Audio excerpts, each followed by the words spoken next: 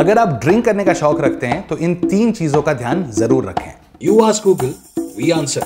सबसे पहले ये जान लीजिए कि अल्कोहल कंजम्पशन से आपकी बॉडी पे जो सबसे पहला असर होता है वो है डिहाइड्रेशन का। यस नॉट द सुरूर not the मधोशी not even the urge to drive the car गाड़ी तेरा भाई चलाएगा यार।